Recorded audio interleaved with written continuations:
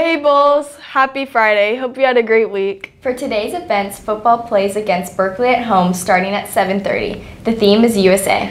The Ice Bulls also play today at TGH Iceplex at 8:15 against Newsome. And congratulations to Chef Hefner, our Teacher of the Year, to Miss Nee Smith, our Ida S. Baker winner. And to our Support Employee of the Year, Miss Hernandez. Have, Have a good day, Bulls.